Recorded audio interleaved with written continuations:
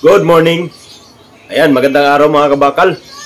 Singit lang natin tong request ni Rinaldo Reyes. Ayan, shoutout sa iyo, idol. Ah, bro, ah, baka pwede ituro mo paggawa ng dye sa binder mo. Dye lang mismo, paturo naman. Siguro yung tinutukoy niya dito, yung ginagamit nating dye na pang doon sa mga tubular natin, doon sa mga pang HRB. So, yun ang gagawin natin ngayon. Pero bago ang lahat, shoutout muna sa lahat ng mga kabakal natin dyan. Ayan. At saan man kayo naroon, ingat-ingat po kayong lahat. So, punta na tayo doon sa shop. At naka-ready na ang inyong kabakal na sikuran. Ayan. Ready to work na. At gagawin natin yung dye ngayon. At sundan nyo yung video na to at makakatulong to sa inyo. Kung gusto nyo gumawa ng mga HRB bracket, makakatulong to sa inyo. Yung mga pangailangan nyo, pang araw-araw dagdag income na rin. So, let's go! Yun, nandito na tayo sa ating munting shop at naka-prepare na rin ang ating mga materials or mga piyesa na gagamitin. Ayan, may kinat na akong bakal dito. Ang kapal ng bakal natin. So, kailangan, hanggat maaari, ang gagawin nating die is ganito kakapal, 10mm. So, yung ginawa kong, may ginawa kong vlog dati na ah, ginawa ko yung die na pang lababo at nahirapan ako maghanap sa mga hardware, hardware mga junk shop, junk shop na mga nabakal na ganito. So may nag-comment doon na meron daw sa Lazada to. Makakabili daw tayo nito sa Lazada na yung mga ritaso-ritaso na. So hindi ko lang alam kung magkano. So tingnan nyo na lang sa Lazada kung gusto nyo gumawa ng ganitong die. So ito, ito yung die na, na ginagamit ko. Ayan. Ito yung die na ginagamit ko pang tupi ng tubular. Ayan o. Ayan.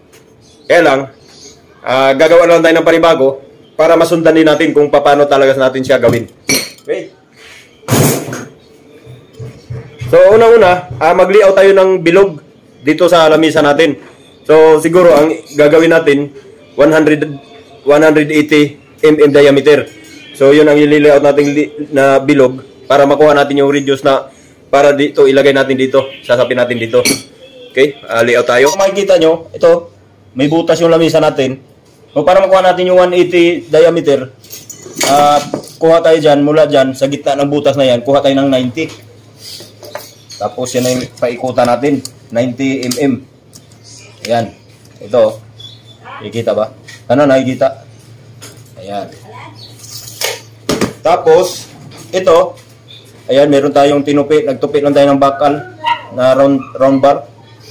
So, may ginawa akong kumpas dati dito, kaya lang, ah, wala na siya ngayon. Hindi ko na alam kung nasaan. Tapos ito yung 90 niya.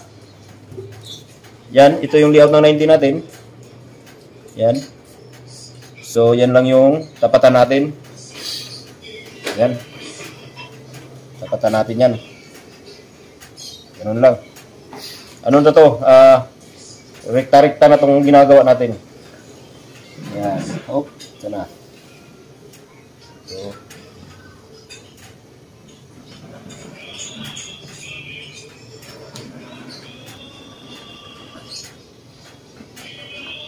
Ayan. Okay, Hindi na bilog mo ayos. Ah.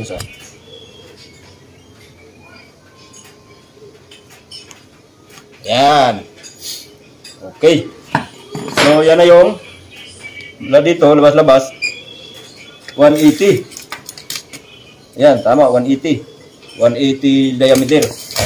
So, yan na yung sundan natin para sa ilagay natin dito sa die natin. So, meron na rin nakabaluktot ditong bakal. Tingnan natin kung tumama to.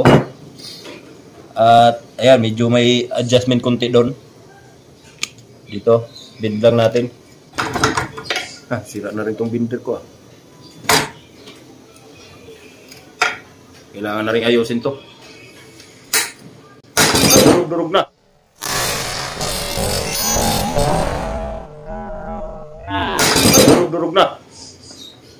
Sinasabi ko. Durug-durug na yung bearing. Pumutok.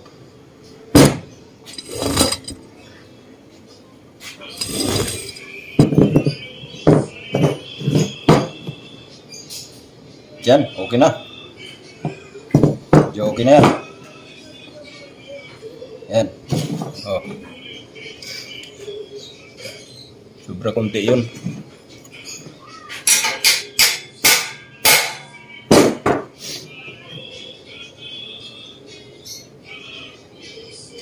Yan.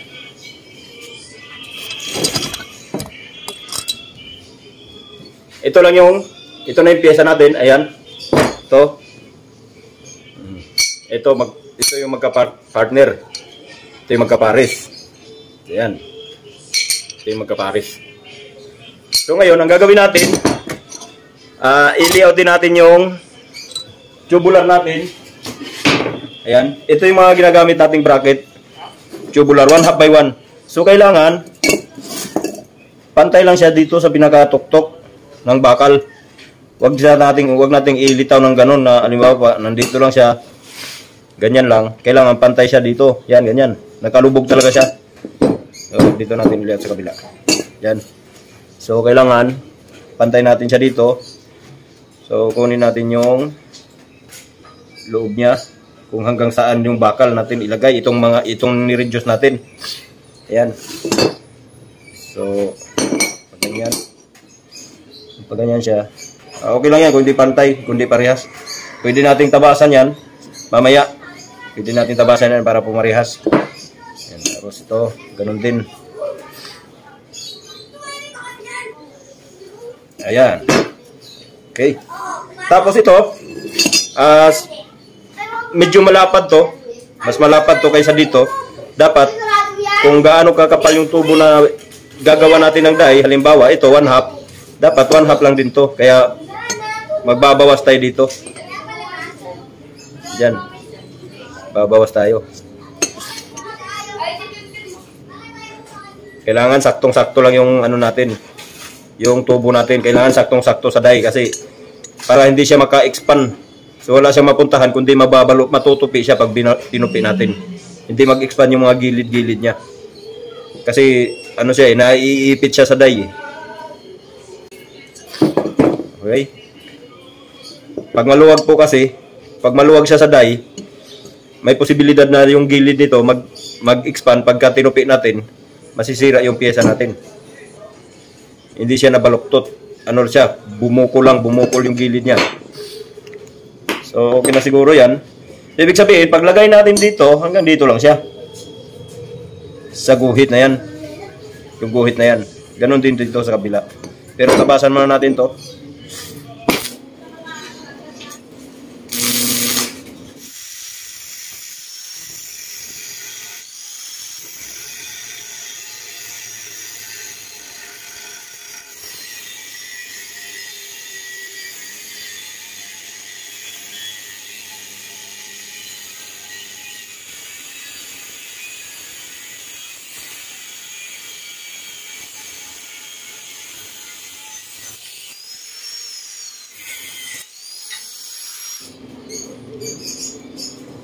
Yan, natabas na natin.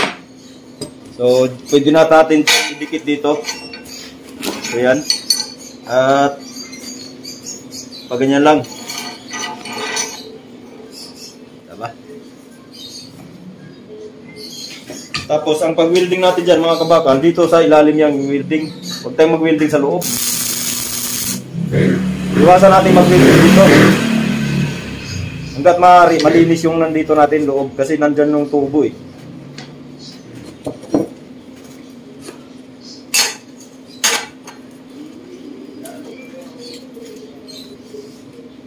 Ayan o. Oh.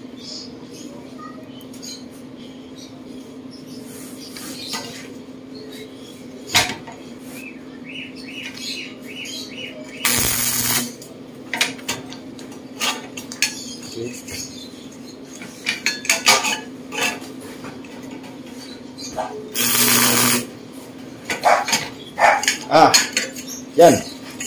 Oh. Ganun lang kasimple paggawa ng die, ano? Tapos, yan, ispat lang muna yan. I-full wheel natin dito para mas matibay. Yan. Pero bago natin i-full wheel dyan, ispatan muna natin dito pang samantala. Para hindi siya bumuka. Lagyan muna natin yan dyan. Kahit ito na i-ispat natin.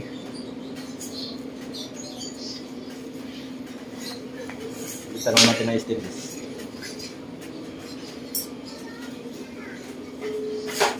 Kahit ito na rin yung spot natin, itong mismong tubo.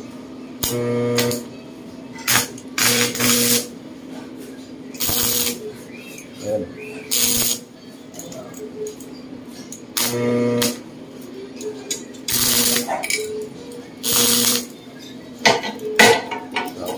Good. Okay, full wheel na tayo.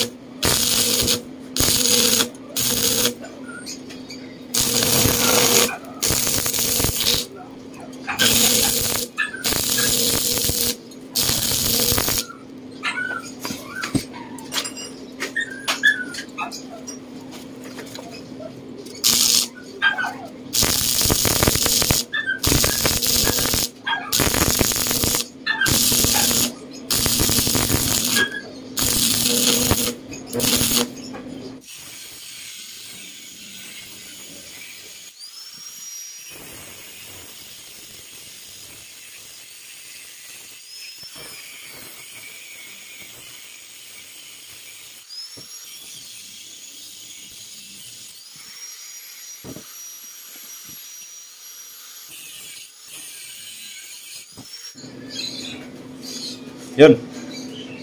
Ganyan lang yung dye natin. Ganun lang kasimple magawa. Yan o. Tapos ito, ah, lagyan lang din natin dito para dun sa jack niya. Dito, gitna lang natin dito. Kasi wala na tayong pang sapin dito eh. Dapat may sapin tayo dito na ah, ganito rin dapat para pantay siya. Kaya lang, wala na tayong pang sapin. Dito, lagyan lang natin dito sa gitna itong ritaso natin. Kasya.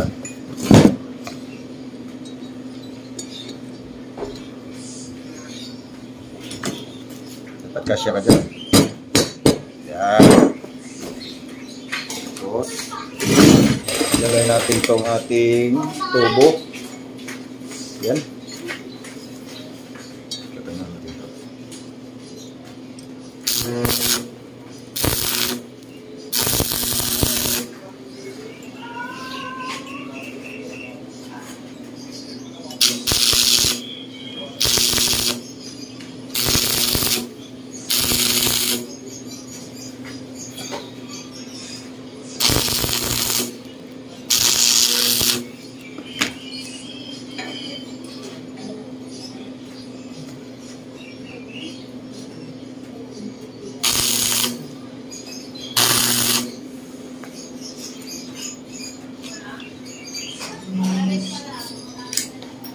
Okay. Ganun lang.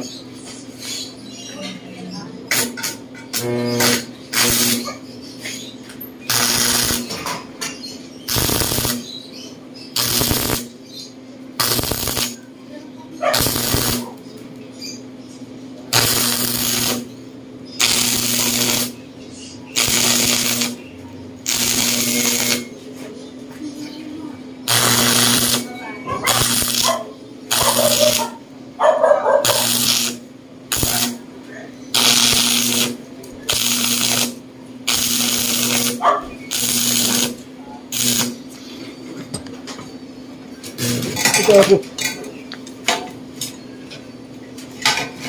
Ito na yung ano ko, eskwala.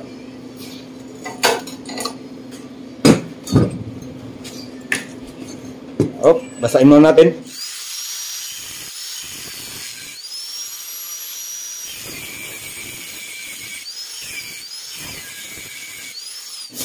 Ngayon, subukan natin to. At ito na itsura niya. Ayan. So kung mapapansin nyo, pag nilagay natin yung tubular, ayan o, pantay siya dito. O kaya, mas okay nga kung ganito, mas nakalubog konti. Okay yan, mas maganda pa yan. Huwag lang siyang nakalitaw na ganon. Ganyan. Kailangan pantay or lubog konti. Kaya, ah, testing natin. Ito yung ating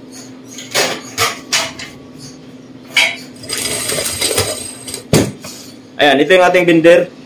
So, kung hindi niya pa napanood yung vlog dito kung paano ginawa, Ah, hanapin nyo lang dyan sa mga videos ko. Nandyan lang yan. At para mabuo nyo na yung binder nyo. At ito subukan natin. Yan, lagay lang natin yan. So ito mga kabakal, ito may, may, may partner pa siya ha. Ito. So ganito lang gawin, ganito lang, ganyan lang paggawa. Madali lang to. Yan, parang ganun lang din. Yan, dalawa yan. Yan. Yan yung sasalo sa magkabilaan. Angular lang yan. Yan, kung mapapansin nyo, angular lang yan, oh. Tapos, binawasan ko lang konti dito. Ayan, kung mapapansin nyo, dinublihan ko nga din ng ano, kasi para sakto lang din yung tubular. Ayan. Okay lang kung ganyan, kahit maluwag konti. Basta importante, magkasya sa para hindi rin matigas hugutin pag hinuhugot-hugot natin. Kasi ang purpose dyan, para wag siyang tumikwas, wag gumanon. Wag pumilipit. Kaya dito yung nakalagay. Ayan. At yan ang sasalo dito. Yan, kabilaan dalawa oh. Kabila mayroon din. Ayan. So subukan nating i-bend. Kung anong magiging itsura niya.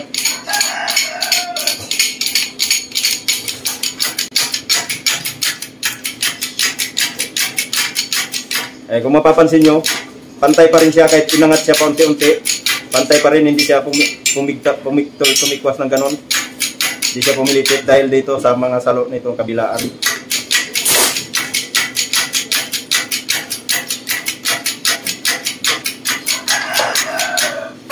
Inangatan natin sa pattern.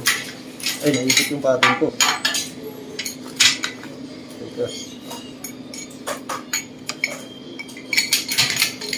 Ito yung madalas na ginagamit kong pattern sa mga bracket kasi halos magkaparehas, maraming magkaparehas sa ano na tupi itong pattern na to.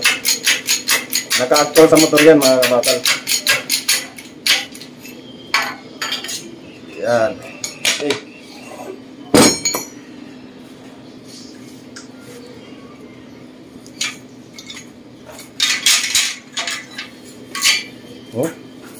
Ng pagkabin. Okay, tingnan natin.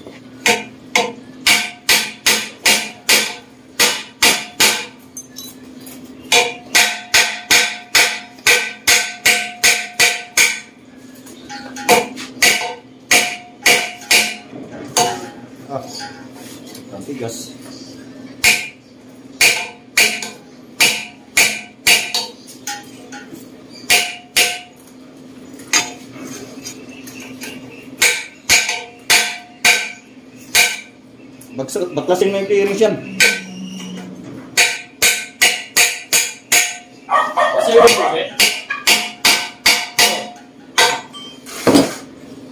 So ito yung ayan yung bend niya oh. Ayan. Kung mapapansin nyo dito, ayan kumukulubot. Kaya nahirapan tayong baklasin. Ah, nahirapan tayong tanggalin dito sa ano sa die niya. So ito, para maiwasan natin to, uh, lagyan natin ang palaman dito sa gitna. Dito, gitnaan natin. Ito. So magbalat lang tayo ng uh, welding rod. Ito, 2.4. Ito. Yan, balatan lang natin.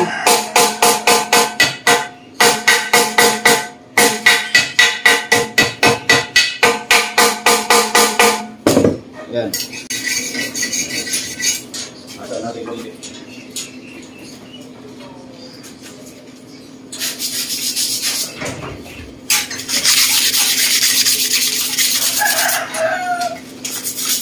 Dapat binigyan mo si Django pagkain do.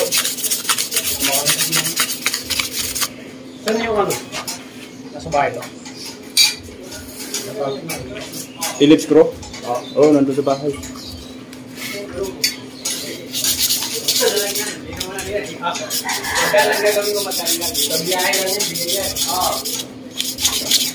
Yan. So ito, tamang-tama lang to.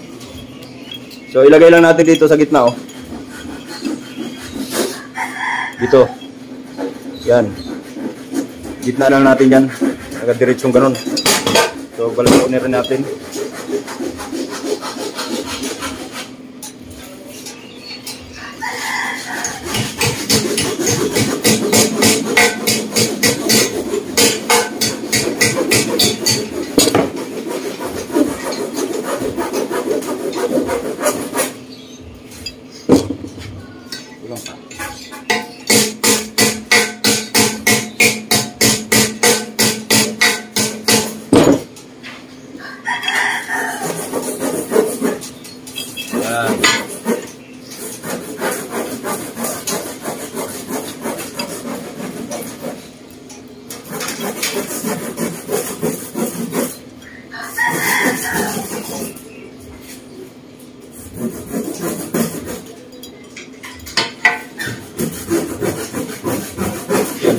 Natin yan. Yung magkabilang dulo lang, ispat natin. Yung dulo-dulo.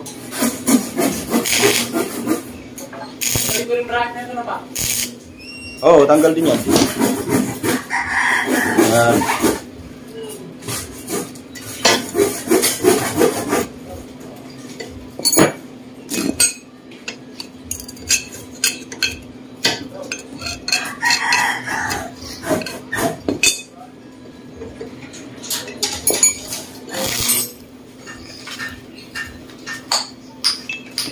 Okay.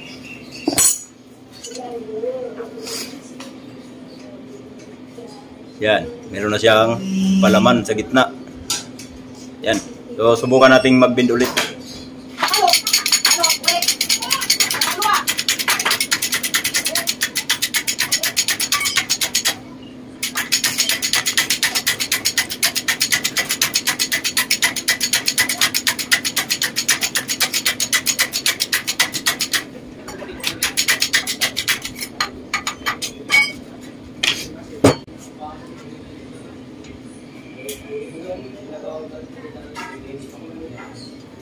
Okay.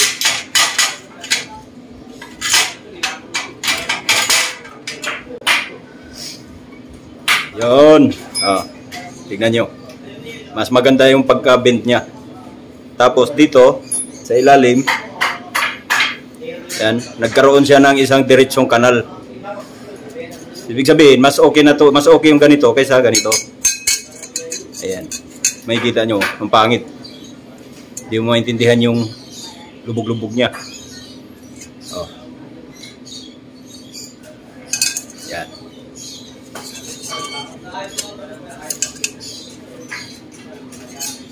Yan, Paras yan. Oh. Okay. Ah, nagawa na natin yung die natin. Ayan. Okay. So, ganun lang kadali maggumawa ng die, mga kabakal. Ayan. At, ito, So, wala naman akong paggagamitan ito kasi meron naman ako doon. At kaya kung gusto nyo, punta nyo lang dito. Sa inyo na to. kaya lang, malayo ako. Muntalbang ako eh. Ayan o. Ito yung unang bend natin. Ayan. Puro marami, maraming ano. Ayan o. Saka dito, sa gilid. Ayan, kung mapapansin nyo, ayan o. May mga bako-bako. Kasi nga, ito, walang direksyon kasi. Walang, walang direksyon yung lubog niya. Ayan. Kaya, pati dito sa gilid, naapektuhan. Ayan o. Mapapansin nyo, ayan o. Kitang-kita yung mga bako-bako. Samantalang ito, yan. Dito sa gilid o, tingnan nyo. Pantay na pantay. Plain na plain yung gilid. Kasi ito yung nakikita eh. Ito. O kaya ito. Pero kung mapunta siya sa kanan, ito lang yung makikita, isang side lang. Saka ito, mas maganda tignan. Okay, so sana nasundan natin mga kabakal. At maraming maraming salamat sa inyong panonood at kita-kita po tayo sa next video. Babo.